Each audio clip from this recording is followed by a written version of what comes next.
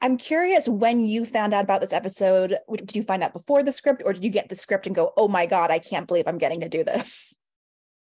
They gave me a little bit of a heads up. Uh, I got a phone call saying that there, there, there were there was some talk, and people were sort of pitching around ideas and what did I think of that? And I said, yeah, I, mean, I would love to. I think like, you know, this show is such a fun show to make, but one of the things that I had been sort of like um, waiting for you know one of the, the things that we miss out on and for for like the team in present day is that we don't get to shoot with ray. You know we don't really have scenes with ben and and and we hang out you know and and and he's great but we don't actually get to work with him very much. So i was just really thrilled about the idea of getting a whole episode to kind of play around with him. You know, his comedic timing is so great and he's just so fun to work with. And well, so speaking of right, what was it actually like filming with him? What did you kind of learn about what that relationship was like and what your dynamic was like?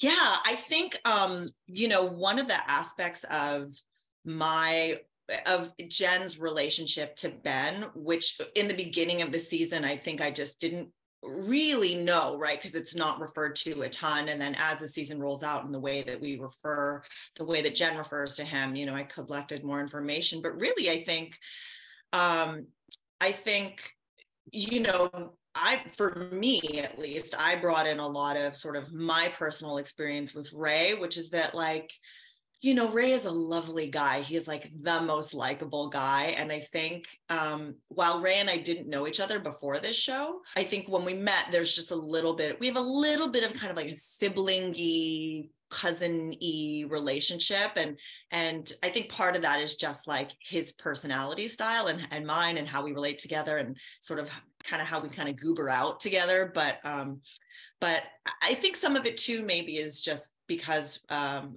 uh, you know, we're both Korean.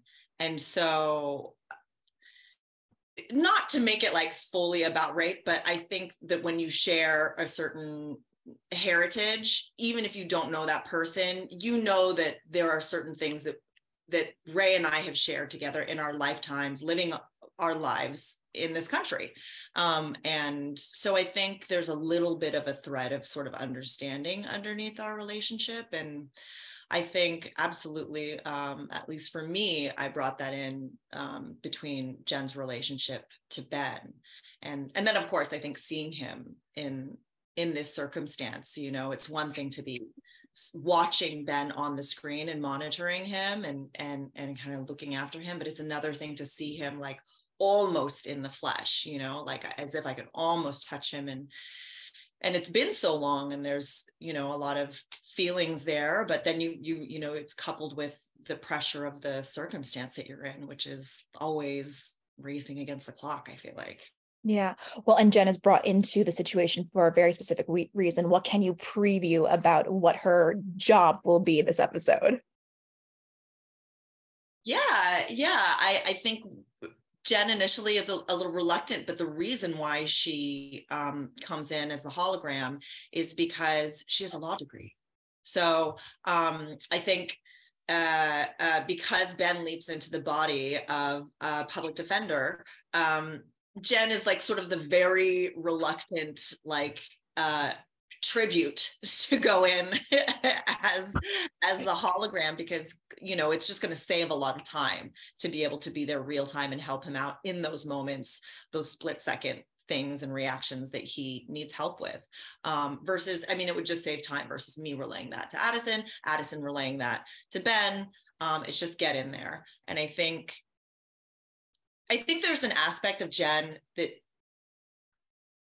you know, Addison was the one that was supposed to leave, and then Ben went.